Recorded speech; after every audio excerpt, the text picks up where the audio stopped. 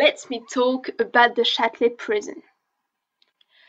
At first, the Châtelet prison was a military protection fortress.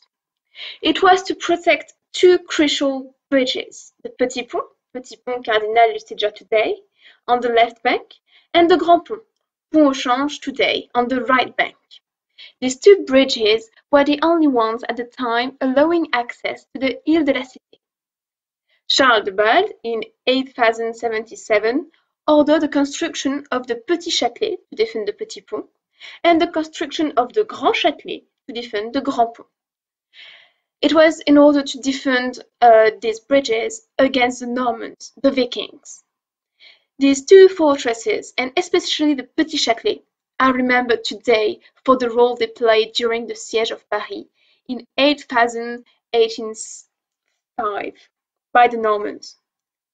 Totally cut off from the Ile de la Cité following the collapse of the Petit Pont, Twelve men remained entrenched in the Petit Châtelet and fought to death against the invasion, slowing down the Normans. It's also a place of detention.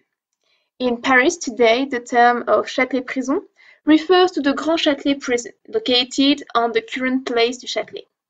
Le Châtelet de Paris, as a defensive fortress, was replaced by the construction of Philip's Auguste enclosure around 1190.